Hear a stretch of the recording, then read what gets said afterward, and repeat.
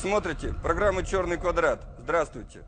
Несколько недель назад в одном западногерманском городе подросток открыл в учебном заведении стрельбу и убил 15 человек. Не только в Германии, но и во всей Европе люди были в шоке и задавали друг другу один вопрос. Как это могло произойти? Ведь подобного просто не должно было быть. Психологи-криминалисты утверждают, многие граждане зачастую не хотят видеть проявление преступности и оказываются беззащитными перед такими фактами. Кто-то может сказать, это произошло далеко от Казахстана, и авось нас это не коснется. Возможно, именно так думали и те, кто оказался жертвой преступления, о котором сегодня мы вам расскажем.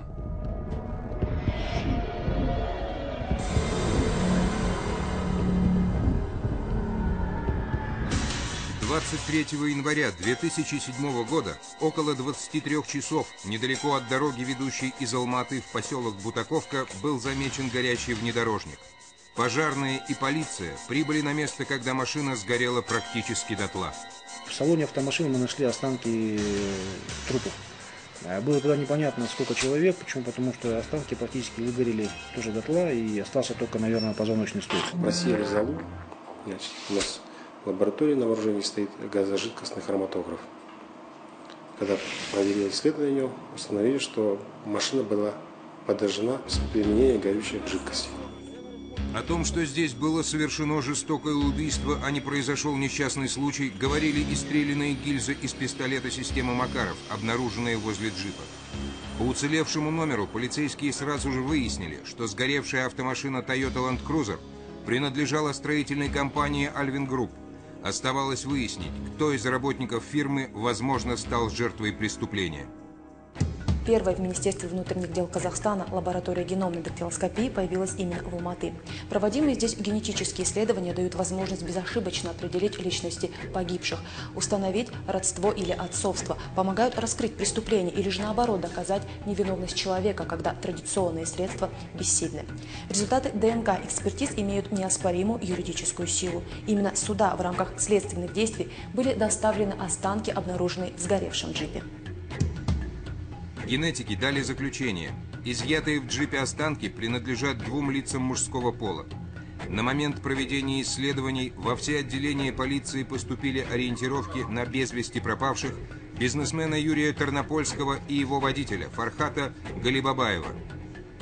Возникла версия, что, возможно, эти образцы принадлежат Тернопольскому и Галибабанову. Для этого нам Дополнительно были предоставлены образцы крови их родственников, и мы провели сравнительный анализ, где полностью по всем 15 локусам показало совпадение, и что данные именно образцы обгоревших трупов принадлежат Тернопольскому Галибабанову.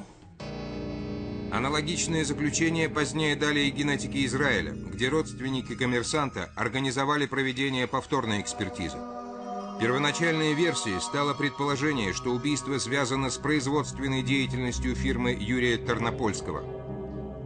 Оперативники выяснили, что перед исчезновением ему через курьера якобы для покупки земли была передана большая сумма денег. В районе 11 часов Тарнопольский со своего мобильного телефона позвонил главному бухгалтеру фирмы и срочно потребовал найти 1 миллион долларов. Сбор происходил следующим образом. У фирмы практически почти был готов один дом, на улице Байкадамова. И чтобы собрать быстро в течение какого-то определенного времени наличные деньги, пришлось э, срочно обзванивать Тарнопольскому своих друзей и просить их по низкой цене выкупить квартиры, ну, скажем, для своих друзей, товарищей, для себя. Таким образом, порядка миллиона было собрано, ну, скажем, в течение нескольких часов. Имущество распродавалось практически по бросовой цене, что не могло не вызвать обоснованных подозрений. Однако к назначенному сроку указанная сумма была собрана, и около 17 часов за деньгами прибыл некий Александр. Молодой человек принял 1 миллион 772 тысячи 400 долларов США и уехал. После этого личные телефоны Юрия Тарнопольского и Фархата Галибабаева оказались выключенными. Курьера, а им оказался 26-летний Александр Соловков, нашли на следующий день мертвым. Его тело с пулевыми ранениями бросили на десятом километре автодороги, связывающей Алматы и поселок имени Жандосова. Полицейским стало ясно, что мотивом всех трех убийств являются деньги, которые Славков получил в офисе Тарнопольского. Все потерпевшие были убиты тремя выстрелами, два в туловище и контрольный в голову. Причем оружие во всех случаях было одно и то же – пистолет Макарова. Уровень организации и исполнения преступлений наталкивал оперативников и следователя на мысль, что убийцами могли быть сотрудники силовых структур или люди, имеющие специальную подготовку. Современный Land Cruiser э, при посадке вовнутрь он блокируется, то есть двери блокируются, и мы не могли понять, как они могли попасть вовнутрь этого джипа, наши, скажем, фигуранты либо как они вытащили Тарнопольского. Проверялись масса версий, в том числе и то, что машина могла быть остановлена, допустим, ну, лже сотрудником УДП. Отрабатывались одни и выдвигались новые версии, но у следствия все еще не было ответов на массу вопросов. Запросив распечатку звонков потерпевшего за последние трое суток, а также разговоров Александра Славкова, полицейские обнаружили номер, с которого звонили как Тарнопольскому, так и Славкову шли 13-е сутки после совершения убийства. Были проведены мероприятия, и в конце концов мы остановились на одном человеке, это был Балгинбаев Сакен Танер Бергенович. И путем допроса э, сотрудников фирмы мы установили, что такой товарищ один раз уже посещал офис и имел беседу лично с Тарнопольским. Э, нас информация, информация заинтересовала. После анализа оперативной информации в отношении Сакена Балгинбаева было принято решение о его задержании. Сегодня, 7 февраля, сотрудниками ГУД города Алматы Балгинбаев Сакен Танер Бердянович, 71 года рождения, правильно? Что подкинули мне сзади? Что это такое мне сзади? Когда лишний Запись. э, Так, ребята, смотрите, стоп. Камера фиксирует. Так, пистолет и магазин. Тоже ваши, да? Так, пакет номер 3, так. Но Коробка вышел от вас, да? Я не знаю, я не Пистолет, знаю, да? как это А, оказалось, пистолет. потом будем выяснять. Мы пистолет стали пробивать по полигильзотеке, пистолет оказался не стрелянным, то есть не участвовавшим в каких-либо, допустим, криминальных делах. А, Ну, скажем так, на, на нашем сленге пистолет был чист. А, Предъявить ему пока, кроме пистолета, мы ничего не могли. Биография 36-летнего Сакена Балгинбаева поведала следователям о многом. Он не раз попадал в руки правоохранительных органов, но до суда дела так и не дошли. В криминальных кругах Балгинбаев был хорошо известен под кличкой «Прокурор». В свое время он несколько лет работал в прокуратуре города Каскелен Алматинской области, отсюда прозвище, а также обширные связи по обе стороны баррикад. Кроме этого, он имел репутацию профессионального игрока. Это был тот самый человек, который первый из казахстанских игроков прорубил дорогу в Москву. Почему? Потому что в Казахстане, в частности в Алмате, в местах, где были казино, его практически не пускали играть. Он настолько все знал и умел, что практически казино разорялось при одном только посещении его. И поэтому он стал навещать э, Москву и там, скажем так, играл в казино. Лихие 90-е годы Сакен Богимбаев учредил несколько фирм по изготовлению пластиковых окон. Низкие цены на товар привлекали многих, но получив деньги от клиентов, фирма исчезала. Тогда ему помогли взятки и связи, поэтому бывшие коллеги не нашли в его действиях состава преступлений. Остались безнаказанными и другие деяния. Но на этот раз капризная фортуна отвернулась от азартного игрока. Во время обыска в квартире Балкинбаева полицейские обнаружили 94 тысячи долларов США и около 300 тысяч тенге. Но главным было другое. Договор на аренду ячейки, заключенный с одним из банков Алматы матерью Балгинбаева 25 января 2007 года. То есть ровно через сутки после убийства Тарнопольского и Галибабаева. После вскрытия ячейки там были обнаружены деньги. 1 миллион 180 тысяч долларов США. Балгинбаев попытался объяснить, что это его выигрыш в московском казино, который он контрабандным путем привез в Казахстан. исследуя каждую купюру. На нескольких купюрах мы нашли следы кассирш, которые выдавали деньги. Когда кассир считал, и волосок выпал. Среди денег, денежных купюр мы нашли волосок. Эти волосы тоже были проведены, проверены по ДНК-анализу. И тоже дали заключение, что этот бонус принадлежит одному из кассиров. Полицейские проверили версию Болгенбаева о крупном выигрыше, однако результаты оказались не в его пользу. Свидетели подтвердили, что он действительно играл в московском казино, но не выиграл, а проиграл, причем по-крупному. Чтобы рассчитаться с долгами, Болгенбаев занял у знакомого в Москве 200 тысяч долларов и еще 20 одолжил у алматинского предпринимателя. Вернуть деньги в срок не получилось, и тогда кредиторы включили счетчик. Загнанный в угол игрок решил сколотить банду. Так, в декабре 2006 года в Казахстане появилась очередная преступная группировка. Он с неизвестными лицами вывезли владельца этой фирмы, прострелив ему ноги и забрали у него бизнес. В дальнейшем человек скончался. Бизнес отошел к Багимбаеву, старшему. А у нас были показания только одного свидетеля, который более-менее обрисовывал эту схему, но опять-таки конкретно установить факт непосредственного причастия и участия Багимбаева Сакена в отъеме этой фирмы, в убийстве этого бизнесмена мы не смогли. Но тоже, скажем так, дело э, не является неперспективным, оно находится у нас. В квартире Болгинбаева, кроме денег и договора с банком на аренду ячейки, был обнаружен клочок бумаги с номером телефона Тарнопольского и непонятной схемой. Что за схема, он отказывался нам давать какие-то пояснения. Вообще, естественно, вел себя э, достаточно агрессивно. Тогда нами был поднят в воздух вертолет, и э, с воздуха была произведена фотосъемка места происшествия то есть там, где был обнаружен джип. И когда мы получили фотосъемку и сопоставили с той схемой, которая была обнаружена в кармане, э, один в один совпали, скажем, эти два объекта. На всех допросах Болгенбаев категорически отрицал свою причастность к убийству Тернопольского и Галибабаева, а также к организации преступной группировки. Была версия о том, что ну, наверняка он приискивал себе, скажем, банду людей из числа либо знакомых, либо родственников. В связи с тем, что братишка его подходил по характеристикам под члена банды. Более того, он был на автомашине, то есть мог передвигаться мобильно. А нами было принято решение о его сдержании. Восстанавливая хронологию событий и изучая окружение Болгенбаева, полицейские также взяли в разработку 34-летнего Ербасына Имашева, который работал охранником, и их часто видели вместе. Человек такой очень дерзкий, раньше серьезно занимался спортом, когда мы стали проверять его контакты и связи, оказалось, что он практически после совершения э, убийства Тарнопольского оставил жену, детей, родителей и уехал в неизвестном направлении. Примерно через месяц, в районе марта месяца или апреля, э, Имашева мы задержали в горах Волгоградской области. При задержании он сам практически расплакался и сказал, что все расскажет.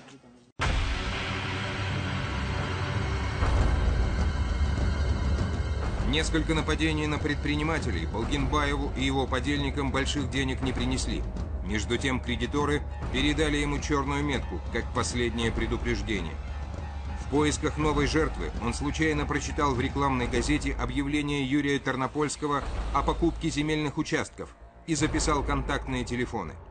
После посещения офиса фирмы у него созрел план. Болгинбаев Сакен сделал предложение, что есть некий бизнесмен, очень богатый, очень успевает, успешная фирма строительная. А, сказал, что там бывал, примерный оборот составляет несколько миллионов долларов. Если мы его вытащим и припугнем, то можем ну, легко заработать деньги на его выкупе. А, ну и Машева это заинтересовало, а, он дал согласие. Единственное условие поставил Богнбаев, чтобы он подобрал себе 2-3 э, человека. В состав группы вошли сам Богембаев, его младший брат Сабр, Ербасын Имашев и два его друга Батырхан Мустафаев и Нуртлеу Аспанов. Постоянное наблюдение за Тарнопольским они начали в декабре 2006 года. Собиралась вся информация. Адреса квартиры и офисов, время приезда на работу и домой, основные маршруты передвижения по делам фирмы, а также излюбленные места отдыха. Позднее бандиты признавались, что страх у них был, но они точно знали, что Тарнопольский не имеет личной охраны. До нападения на Тарнопольского бандиты совершили попытку похищения одного из крупных предпринимателей Алматы. От неминуемой смерти коммерсанта спасло наличие охраны. Ербол приехал зимой, попросил выловить одного человека. Где вы с ним встретились? Возле гостиницы. За что поймать? Что он вам пообещал? Он сказал, что этот человек должен ему деньги. Ему ничего не будет. Мне надо его просто поймать и посадить в машину. А схема была такая, что раньше должны были подъехать э, члены группы этой банды, и при подъезде автомашины с, э, с этим с э, самим владельцем провести захват в машине его и таким образом на его автомашине вывести куда-нибудь безлюдное место.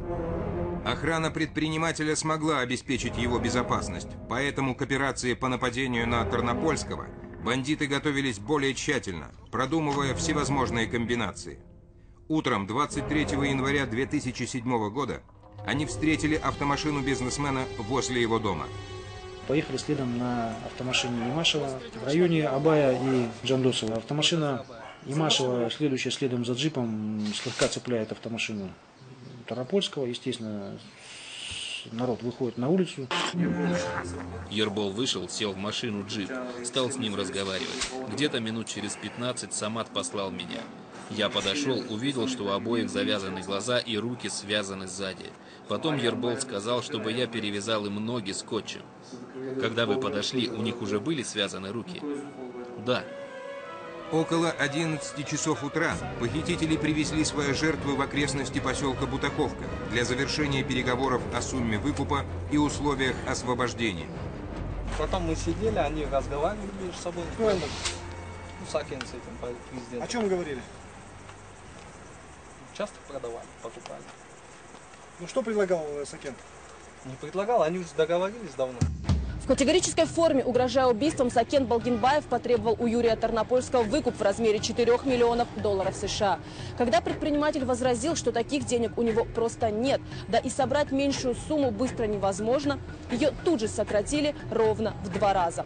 После переговоров Балгинбаев уехал в Алматы, а вернувшись вечером, сообщил подельникам, что план сработал и деньги получены. Юрий Тарнопольский и Фархат Галибабаев умоляли о пощаде, обещали забыть все и всех и не обращаться в полицию. Но Балгинбаев боялся оставлять их живыми. Подъехал, вы- вышел, короче. Меня позвал, застрелить, короче. Сказал, все, приказ есть приказ, короче. Президентской компании, я его взял, короче. Ну, испугался, короче. Все, выпишешь. Я вот так не смотрел три раза. Выстрелил. Три раза, да? Три раза. В упор. Так. С- Выстрелил три раза. Водитель сзади сидел, я водитель вот так развернулся, тоже три раза стрелял. А Нурик Батр где в это время находится? На улице они Оставив тела убитых в салоне, Ербасын Имашев облил автомашину бензином и бросил зажженную спичку. Покидая место преступления, бандиты уже обдумывали, как им решить еще одну проблему.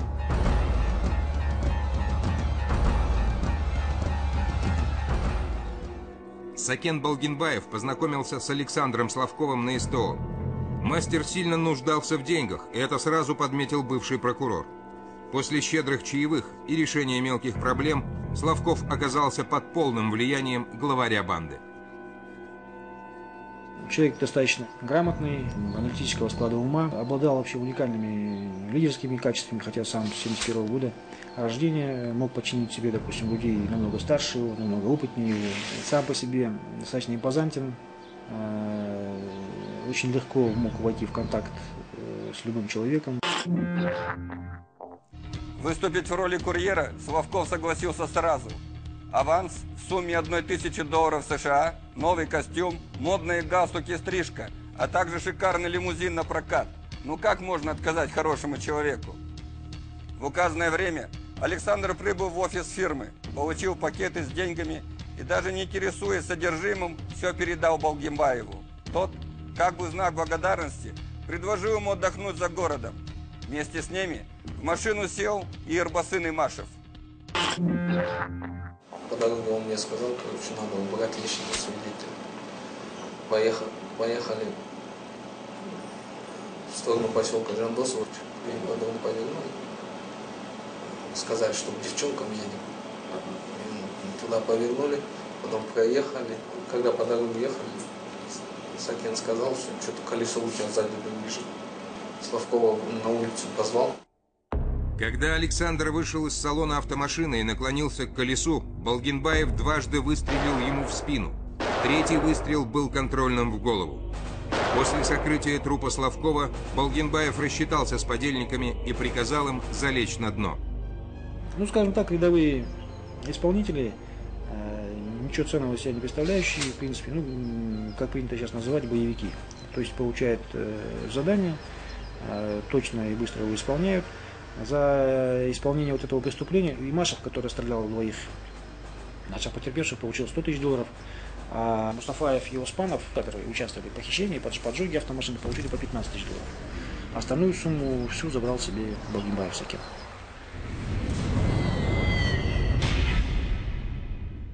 К окончанию следствия полицейские детально восстановили всю картину похищения и убийств, а также распределение обязанностей в банде. Главарь группировки Балгинбаев до последнего момента старался опровергнуть все обвинения и разоблачал других. В ходе судебного разбирательства уже было понятно, что все сидящие с ним, скажем так, подельники на его показы, была масса доказательств, э, масса улик, где доказывалось и показывалось, что руководил и создал эту группу он, э, непосредственно принимал участие в убийстве Таропольского он, похищении, вымогательстве, получении денег и так далее. На суде он признал свою вину. Э, ну, единственное, он сказал, что не он организовывал, и организовывал Имашев. Заявление Балгинбаева о том, что он находился у Имашева в роли мальчика на побегушках, вызвали сначала недоумение, а потом злость со стороны подельников. Кроме этого, они утверждали, что Балгинбаев в случае провала обещал решить все проблемы и неоднократно призывал не сдавать друг друга. Имашев и Успанов, когда мы их задерживали, привезли в ДВД, практически сразу сообщили о том, что было. Ну, естественно, конечно, они пытались немножечко облегчить свою вину, что являлись подневольными лицами, выполняли команды, то есть не думали, что так все произойдет. Час расплаты для бандитов настал 27 февраля 2008 года. Приговором Алматинского городского суда Сакен Балгинбаев получил 25 лет лишения свободы, а Ербасан Имашев – 23 года. Батырхан Мустафаев за колючей проволокой проведет 19, а Нуртлео Аспанов 11 лет лишения свободы. Младший брат главаря банды, Сабара Балгинбаев, получил самый маленький срок – два года лишения свободы. Сакен Балгинбаев его не посвящал э, в убийство Тарнопольского. Почему? Потому что ну, сам младший брат – это человек, который, э, ну, скажем так, очень много пил, являлся, скажем, ненадежным товарищем.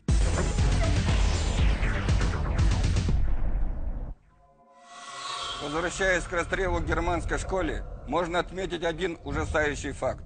Юноша разместил в интернете сообщение о своем плане устроить эту бойню. Но никто, абсолютно никто, на него не отреагировал.